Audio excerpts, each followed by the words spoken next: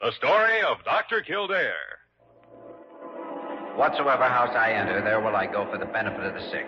And whatsoever things I see or hear concerning the life of men, I will keep silence thereon, counting such things to be held as sacred trusts. I will exercise my art solely for the cure of my faith. The story of Dr. Kildare, starring Lew Ayres and Lionel Barrymore. Metro Goldwyn Mayer brought you those famous motion pictures. Now, this exciting, heartwarming series is heard on radio. In just a moment, the story of Dr. Kildare. But first, your announcer.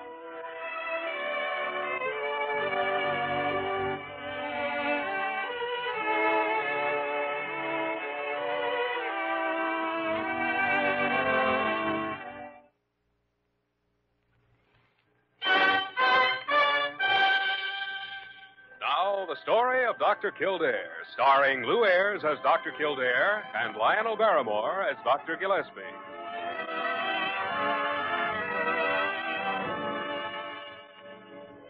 Blair General Hospital, one of the great citadels of American medicine. A clump of gray white buildings planted deep in the heart of New York. The nerve center of medical progress where great minds and skilled hands wage man's everlasting battle against death and disease. Blair General Hospital, where life begins, where life ends, where life goes on.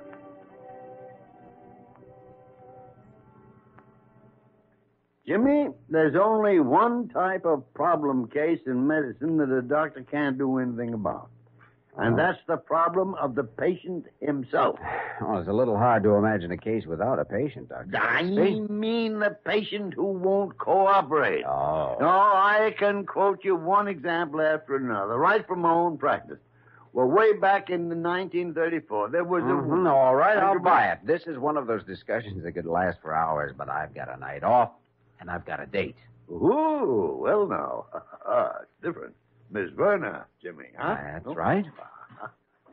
Hello, Diana. Hi, Jimmy. Well, well, well, Miss Werner. uh, Come in. Come right in. Well, I, I don't want to interrupt anything, but Jimmy, I'm ready to go whenever you are. Leaving right this minute. Now, wait a minute. Wait, wait, wait. I want to look at this young lady. It's a new dress, Dr. Gillespie. Like it? Yes, yes, indeed I do. Pardon me, Doctor. All right, Parker. Spit it out. What do you want? Well, if I may, I'd like a word with Dr. Kildare. Of course, Parker. What is it? Well, I don't know exactly, but anyway, there's a man out here to see you. Well, I was just leaving. Well, he says it's important, Dr. Kildare. His name's Eddie Tune. Eddie? Who the tarnation's Eddie Tune? Well, you remember Dr. Gillespie? He runs the Moon Temple Inn down in Chinatown. Oh, yes. Send him in, Parker. All right, Dr. Kildare. Uh-huh. Sorry, Diana, but it shouldn't take long just to find out what he wants. Just go right in, Mr. Tune. A thousand thank you. Hello, Eddie. How are you? Greetings, firstborn, and many respects to you, old philosopher. Mr. June? Uh, this is Miss Werner. Hello. I'm honored. Jimmy, by all tradition, we should continue these formalities for 20 or 30 minutes, but Yes, I agree with you. my grandfather, I fear, will not be so modern when you talk with him. It's about him that I've come. Oh? He's dying, Jimmy. Oh, from what cause? Two, actually. You may not have known, but he suffered injuries in an auto wreck six months ago. His health has declined steadily ever since. And the second reason is that he's decided to die. Well, Jimmy, there's a case for you. He has agreed to permit an examination, nothing more. And only if I brought you within the hour. Ling Ko is a very stubborn man. Ling Ko? Are you a grandson of Ling Ko's? I have that honor. Well, do you know him, Dr. Gillespie? Oh, for 25 years or more. Well, I haven't seen him lately, though, Jimmy. I'm going with you. Then you will come, Jimmy. Well, I. And Diana, it looks as though we're. Well, I, I don't see why, Jimmy. We were going out to dinner anyway. Why can't we eat somewhere in Chinatown? Afterwards, I mean. A very good idea. All right, then we'll all go.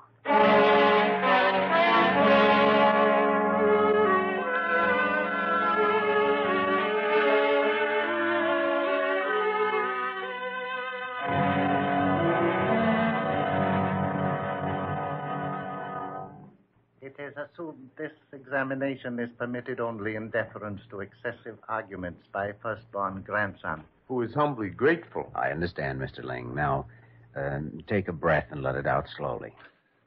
That's it.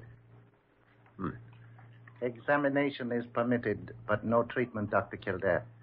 A man should live out his years and accept his fate. Yes, Mr. Ling. Now breathe again. Same way.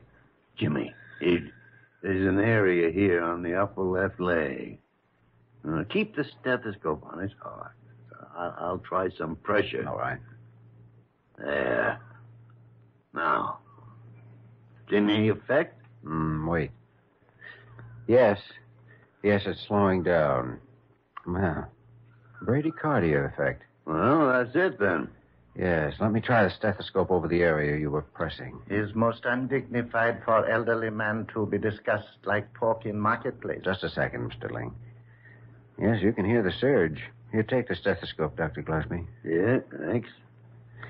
Mr. Ling, I gather this leg was rather badly injured in that car wreck. Is that right? Very badly, Dr. Kildare. Well, that settles it, Jimmy. And I say there are enough collateral channels open to justify immediate surgery. Might this unworthy one inquire result of examination? Well, Mr. Ling, you have an arteriovenous aneurysm, the result of those leg injuries. Indeed. Is most gratifying to know cause of one's death. Death? Oh, who said you're going to die? Kildare'll fix you up. Examination is permitted. Treatment, no.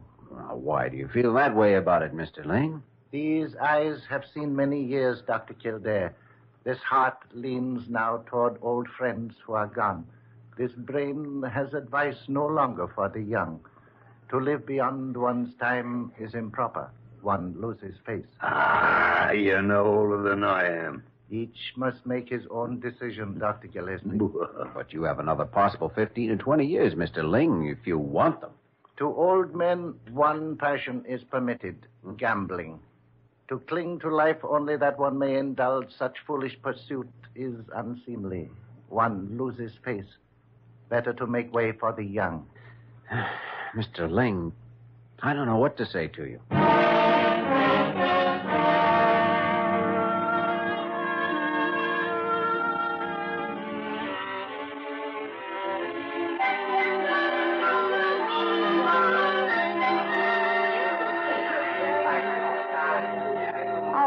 Know how you feel, Jimmy. What can you say?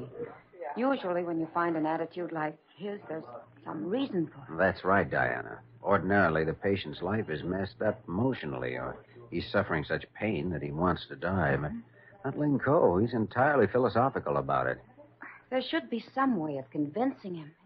It's such a waste to do nothing but just sit and Well, wait for this one hopes that you and Miss Verna are finding our cuisine satisfactory, Jimmy. Oh, wonderful, Eddie. Good deal more satisfactory than your grandfather's attitude. Jimmy, what can one do? He's accustomed to giving advice, not taking it. I hope Dr. Gillespie was not offended. Oh, no, he just thought he should get back to the hospital. You never can get him to eat at this time of night. Jimmy, what is wrong with my grandfather? Well, it's a combination of effects from that leg injury. You see, normally a blood supply is carried by the arteries from the heart to all the tissues of the leg and is then returned to the heart through the veins. But that injury of your grandfather short circuited an artery and a vein high up in his leg. I see. Well, I think I do. Well, there are enough collateral channels open to keep the lower leg alive, but the main circulation is passing through the short circuit. The heart has to beat faster to handle the increase in fluid, and that raises the blood pressure.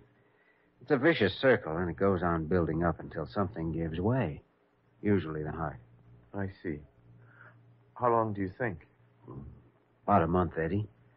And yet, through surgery, he could be cured. Oh, yes. By eliminating the short circuit. I've seen amazing recoveries. Sometimes in a matter of days. Ah, life does have its ironies. And now it is time for my big surprise. The cook has prepared special for you, sui chi yuck. Sounds terrific, doesn't it? Oh, you have to like it, Jimmy, or the cook loses face. Uh, pardon me now. Uh-huh. He's awfully nice, Jimmy. Eddie? Mhm. Yeah, yeah, he's great. And I love this place. Do I sound silly if I say it's romantic? No, as a matter of fact, it is romantic. Moon Temple Inn. Even the name. It's like pagoda bells and pear blossoms. Yeah. Yeah, it is. Jimmy, what are you thinking about? Hmm? Well, Ling Ko. Oh. You know, there may be a way of changing his mind. It's a chance, anyway. What do you mean? Have you ever heard of saving a life by threatening a face? No. of course you wouldn't. Neither have I. But I think it's worth trying.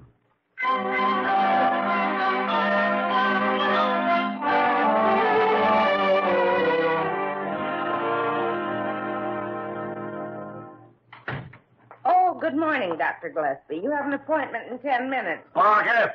Where's Kildare? How should I know? He hasn't been around the hospital all morning. For all I know, he didn't even come in last night. Oh, maybe he had too much Chinese food. Uh, too much Chinese aneurysm. I just think it's a crying shame that Mr. Ling Ko's taking that attitude. Well, now, old Snoopy's finding out about cases before they even come to hospital. I am not. I mean, I just hear things, that's Well, all. I'll bet you do, Biggie. Oh, Good morning, Dr. Gillespie. Well, Jimmy, Parker. hello. morning. I was just preparing your description for the Missing Persons Bureau. Oh, I had to go out on a case, uh, Hmm. rather the preliminaries to a case. By the way, I've decided to use cryotherapy in that operation on Ling Ko's leg. Huh? See, by packing the leg in ice, I can slow the metabolism and reduce the possibility of any Well, kind what of... makes you think you'll even have a chance to operate? Oh, well, that's all taken care of. That's what Eddie Chun and I were doing this morning. Here, take a look. Uh, Chinatown News. I can't read this stuff. Neither can I, but I have a translation of the item Eddie managed to have planted in this morning's edition. what are you talking about? Now, let's see.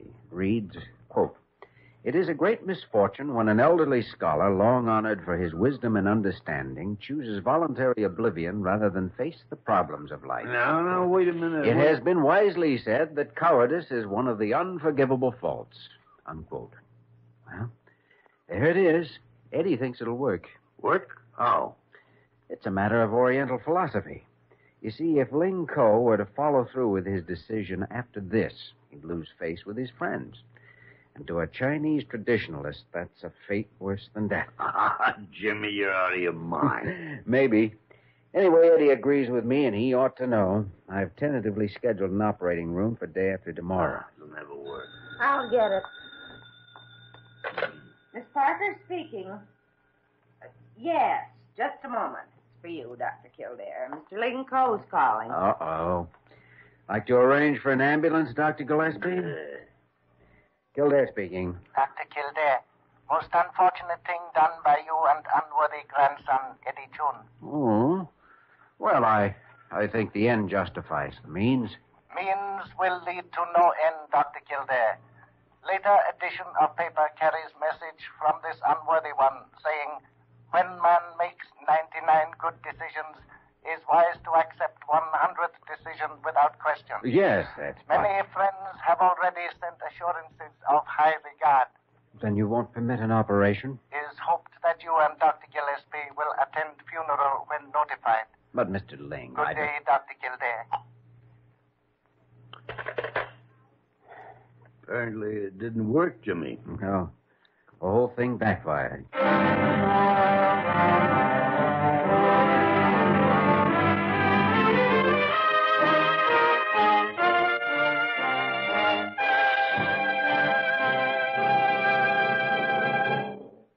Return to the story of Dr. Kildare in just a moment.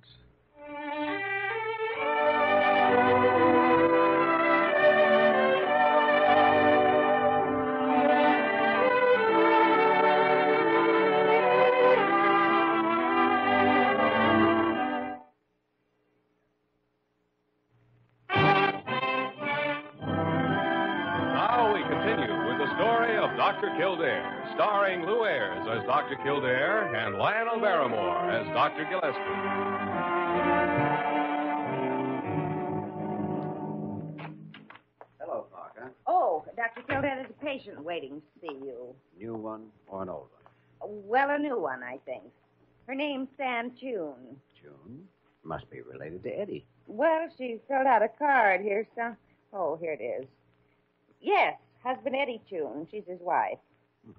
Wonder what's wrong with her. Well, I'm not a diagnostician, Dr. Kildare. But Mm, well, that's it, huh? Maybe I'd better see her as soon as I get it. Confounded tarnation. You know, Parker, there's one thing about Dr. Gillespie. He never loses his sunny disposition. Conference. If there's any more asinine method of wasting time, I've never heard of it. Parker, who's the girl in the outer office? No, patient of Dr. Kildare. Oh, interesting case, Jimmy. Well, might turn out to be. She's a granddaughter-in-law of Ling Code. Oh, you don't say so. Well, what seems to be the trouble? So? Complaint, symptoms. She, she must have some reason for coming here, hasn't she? Mm, Oh, yes, yes. She had a reason, all right, but I doubt if she has a complaint. Or does she, Parker? No, no, no. She seems quite happy about it, Dr. Kildare. Well, then I think we can... Wait uh, a minute.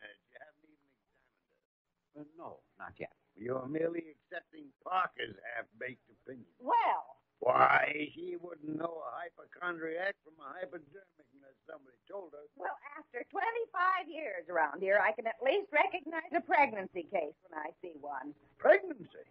Oh, is that what it is? so I'm led to believe. oh, well, well, I thought it might be something interesting. Now, there's a jaundiced attitude for you. What could be more interesting than birth? New life replacing the old, wondering whether it'll be a boy or a. What's the matter, Jimmy? Maybe an idea there. Where?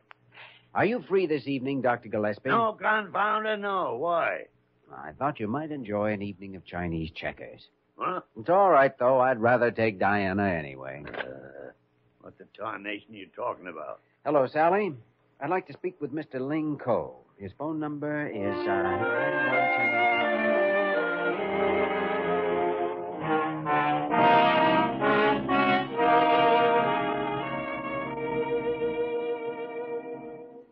I'm still betting on you, Jimmy. This time, I think you're going to win. Your move, Dr. Kildare. uh... All right. There. Ah, yes. This piece, then, is moved so. Your left flank is stopped. Oh. Well, uh, let's try this.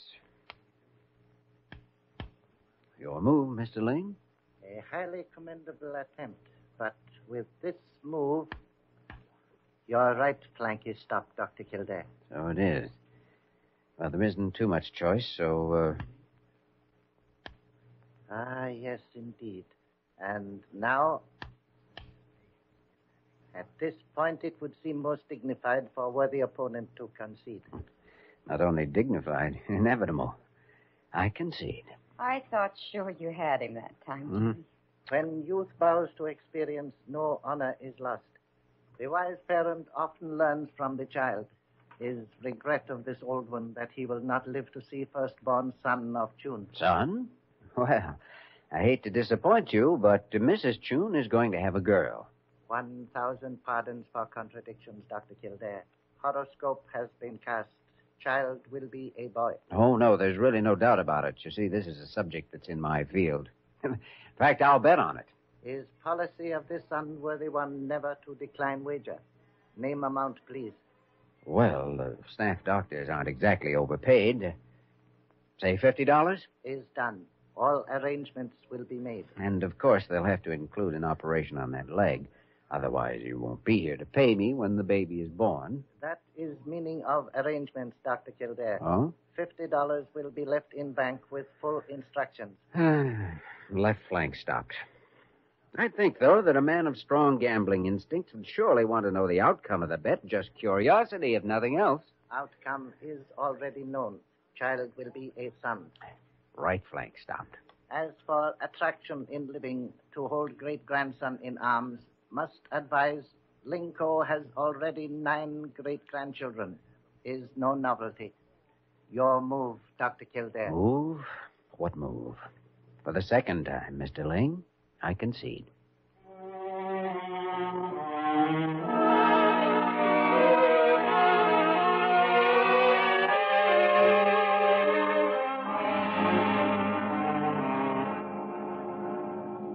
Jimmy, I've put a lot of thought on this case during the last week, and I've come to the conclusion that the only way to get Ling Ko to submit to surgery is by starting with a full acceptance of his attitude and then using that attitude.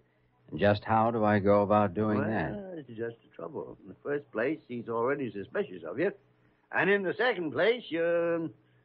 Well, you're just too confounded young. Which brings us right around the bush to the place we started from. And leaves old Ling Ko on his way to a funeral complete with firecrackers and rice cakes. And I guess all I could do under the circumstances is go down to my office and try to grow older as quickly as possible. No, no, no, no, I didn't mean that, Jimmy. Yeah, I know you didn't. Well, see you later. ah, confounded tarnation. Parker! Parker!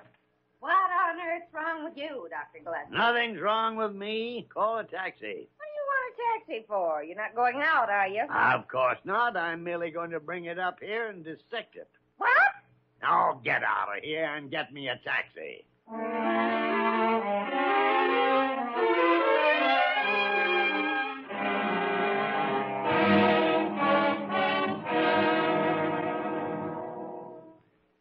Strange how life seems to balance, Dr. Gillespie, one thing against another when one grows very old. You know, that's one thing young Kildare can't understand. The passions grow cold, as someone said, and then philosophy grows out of the ashes. Is same with young members of Ling family. They make the days noisy with wailings and pleas. Uh, This old one can find little peace. Well, they just don't understand how we can look at things differently. See? They're too young. No, same way with Kildare. He's a good doctor, all right, but sometimes his enthusiasm runs away with him. He has been most insistent. Yeah, sure, sure. He's thoroughly convinced the operation should be tried, even if there's only one chance in a hundred you'll live through it. Was understood operation is quite simple. Oh, no, no, no, no. It's a long way from simple. Huh? Kildare simply can't get it through his head that man might want to be left alone, live out his days in peace. Is feared there will be no peace. Relatives are most troublesome. Yes, yes. Too bad they won't let a man enjoy his last two or three weeks in calmness and meditation. Would cause them much happiness if this old one should submit to operation. Oh, yeah, I suppose it would. Dr. Kildare also. Oh, Please inform him operation will be performed tomorrow morning. you mean you, you, you tomorrow morning? Well, by the great horn spoon.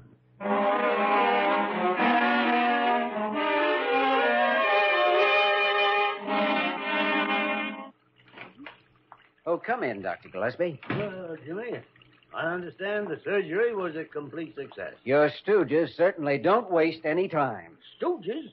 I don't know what you're talking about. Well, was it or wasn't it? It was.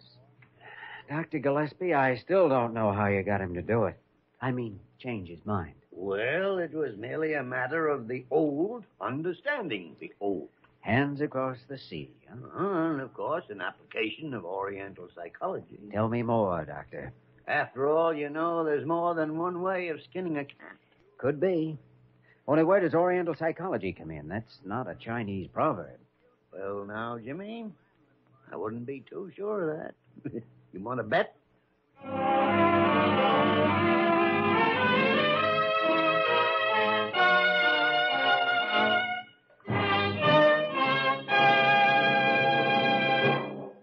In just a moment, we will return to the story of Dr. Kildare.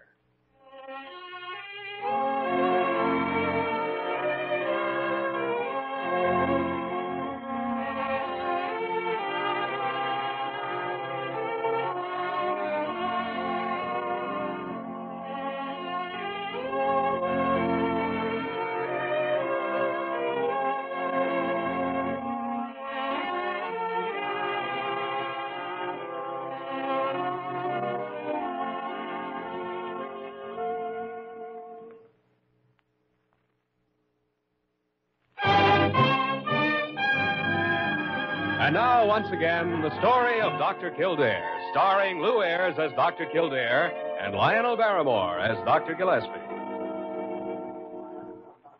Good evening, uh, most honorable friend. Evening. Trust everything is satisfactory. Oh, Oh, fine, wonderful. Mr. Ling. You're looking very well, Mr. Ling. Have never felt better in entire life, Dr. Kildare.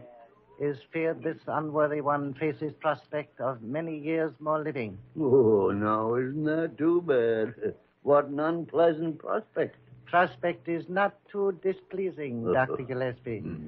Dr. Kildare, is of course most impolite to remind you of occasion for this banquet. However. Yes, I know. Eddie Chun double crossed me and had a son, and I owe you fifty dollars. Ah, here you are.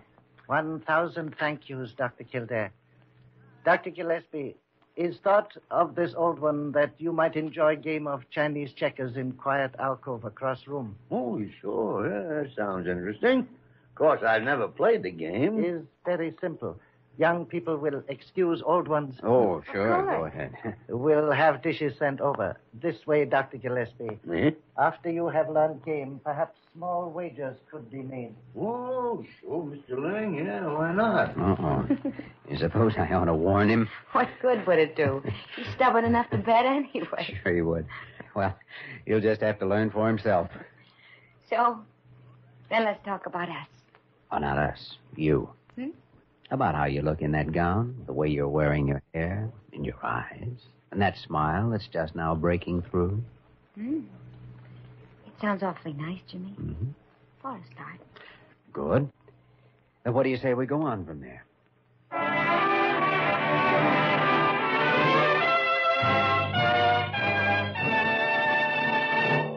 You have just heard the story of Dr. Kildare, starring Lew Ayres and Lionel Barrymore.